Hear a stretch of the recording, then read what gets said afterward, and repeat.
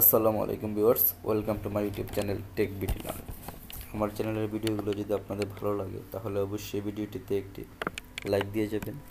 চ্যানেলের পরবর্তীতে ভিডিও, চাকরি সম্পর্কে যে কোনো তথ্য পাওয়ার জন্য আমার চ্যানেলটিতে সাবস্ক্রাইব করে যাবেন। ভিডিও বা চ্যানেল সম্পর্কে কোনো মতামত বা পরামর্শ থাকলে সেটা কমেন্টস বক্সে নোট করে দিবেন। আর যদি ভিডিওগুলো আপনাদের ভালো লাগে, তাহলে অবশ্যই শেয়ার করবেন বেশি বেশি করে। বন্ধুরা, আমি আজকে আপনাদেরকে দেখাবো গণপ্রজাতন্ত্রী বাংলাদেশ সরকারের পরিকল্পনা মন্ত্রণালয়ের একটি সার্কুলার আছে। সেই সার্কুলারটি তাহলে আসুন দেখি সার্কুলারটি পরিকল্পনা বিভাগের রাজস্ব খাতভুক্ত শূন্য পদে অস্থায়ী ভিত্তিতে সরাসরি নিয়োগের মাধ্যমে পূরণের জন্য নিম্ন বর্ণিত শর্ত সাপেক্ষে বাংলাদেশের প্রকৃত নাগরিকদের নিকট হতে দরখাস্ত আহ্বান করা যাচ্ছে। পূরণযোগ্য পদের নাম, শিক্ষাগত যোগ্যতা, অন্যান্য তথ্য বিবরণী, নিম্নরূপ। পদের নাম হিসাব রক্ষক পদের সংখ্যা দুইটি, গ্রেড বারোতম, কোনো স্বীকৃত বিশ্ববিদ্যালয় হতে বাণিজ্যিক বিভাগে দ্বিতীয় বিভাগে স্নাতক ডিগ্রি, কম্পিউটার চালানোর দক্ষতা থাকতে হবে, কম্পিউটার ওয়ার্ড প্রসেসিং সহ ইমেল ও ফ্যাক্স পরিচালনার দক্ষতা ও অভিজ্ঞতা থাকতে হবে। রাজশাহী বিভাগ ব্যতীত সকল বিভাগের সকল জেলার প্রার্থীগণ আবেদন করতে পারবে, তবে সকল জেলার এতিম ও শারীরিক প্রতিবন্ধী প্রার্থীগণ আবেদন করতে পারবে।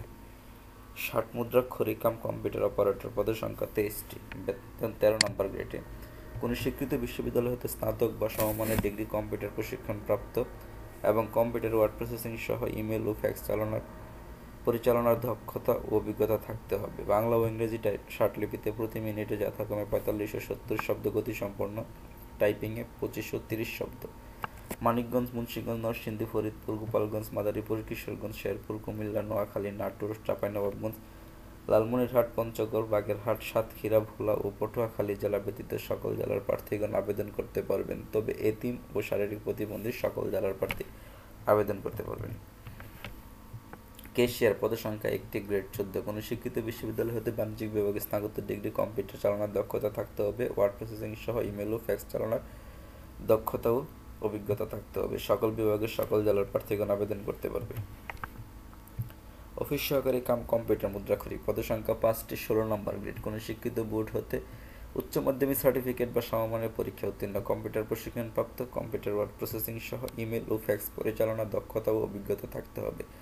বাংলা ও ইংরেজি টাইপিংয়ে যথাক্রমে বিশ বিশ বিশ ও বিশ শব্দগতি সম্পন্ন হতে হবে। খুলনা বিভাগ, রংপুর রংপুর বিভাগ, ঢাকা বিভাগের ঢাকা, নারায়ণগঞ্জ ময়মনসিংহ বিভাগের ময়মনসিংহ, চট্টগ্রাম বিভাগ, কুমিল্লা, রাজশাহী বিভাগের নওগাঁ জেলা ব্যতীত সকল বিভাগের সকল জেলার প্রার্থীগণ আবেদন করতে পারবে। তবে শারীরিক সকল জেলার এতিম ও শারীরিক প্রতিবন্ধী প্রার্থীগণ আবেদন করতে পারবেন।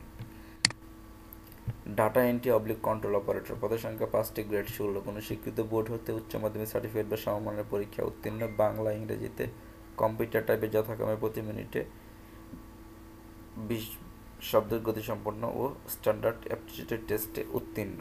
ময়মনসিংহ বিভাগের বিভাগ, রংপুর বিভাগ, রাজশাহী বিভাগের রাজশাহী জেলা ব্যতীত সকল বিভাগের সকল জেলার প্রার্থীগণ আবেদন করতে পারবেন। তবে সকল জেলার এতিম ও শারীরিক প্রতিবন্ধী প্রার্থীগণ আবেদন করতে পারবেন। ট্রেসার পদসংখ্যা দুইটি, গ্রেড ষোলো। সকল সরকার কর্তৃক অনুমোদিত কোনো শিক্ষিত প্রতিষ্ঠান হতে সিভিল ড্রাফটিংয়ে উচ্চ মাধ্যমিক সার্টিফিকেট ভোকেশনাল উত্তীর্ণ অথবা সিভিল ড্রাফটিংয়ে মাধ্যমিক স্কুল সার্টিফিকেটে উত্তীর্ণ সংশ্লিষ্ট কাজে দুই বছরের অভিজ্ঞতা। সকল বিভাগের সকল জেলার প্রার্থীগণ আবেদন করতে পারবে।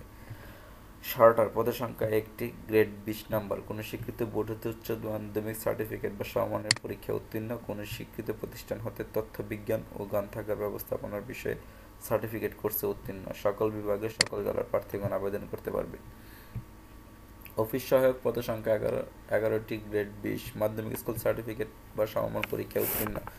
চট্টগ্রাম বিভাগ, খুলনা বিভাগ, নরসিংদী, ফরিদপুর, গোপালগঞ্জ, রাজবাড়ী, কিশোরগঞ্জ, টাঙ্গাইল, জামালপুর, নেত্রকোনা, পাবনা, নওগাঁ, দিনাজপুর, গাইবান্ধা, লালমনিরহাট, ঠাকুরগাঁও, বরিশাল, ঝালুকাঠি ও পিরোজপুর ও মৌলভীবাজার জেলা ব্যতীত সকল বিভাগের সকল জেলার প্রার্থীগণ আবেদন করতে পারবে। তবে সকল জেলার এতিম শারীরিক প্রতিবন্ধী প্রার্থীগণ আবেদন করতে পারবে।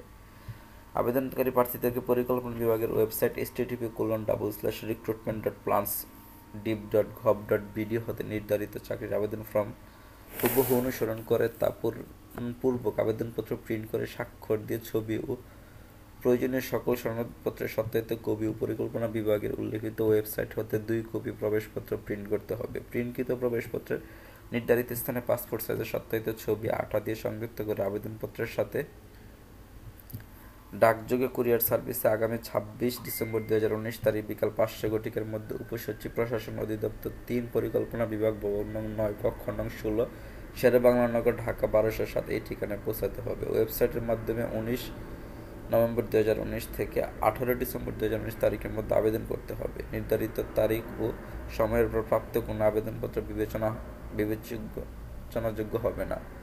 চাকরির আবেদন ফর্ম পূরণের বিস্তারিত তথ্য HTTP colon double slash recruitment plants div dot gov dot BD এই ঠিকানায় পাওয়া যাবে। ক্রমিক নম্বর এক হতে ছয় নং পদের জন্য পরীক্ষার ফি বাবদ একশো টাকা, সাত ও আট নং পদের জন্য পঞ্চাশ টাকা বাংলাদেশ ব্যাংক, সোনালী ব্যাংকের সচিব।